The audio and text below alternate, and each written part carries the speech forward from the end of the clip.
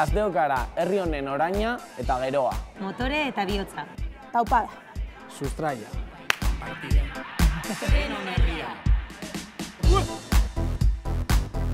Gazteo gara herri honen historia idatziko dugunak.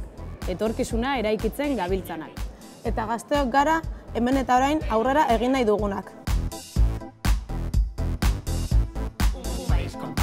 Gure herrian duinki lan eta bizi ahal izateko. Gure kaleetan aske ibiltzeko. Gure hezkuntza guk ere definitzeko. Gure proiektuak aurrera eramateko. Gure egunerokoaz erabaki ahal izateko. Irri handi batekin.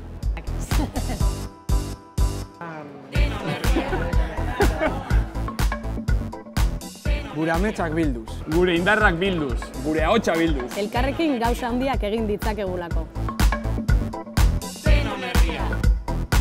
Iraiaren hogeita bostean, gazteok idatz dezagun historiako horri berri bat.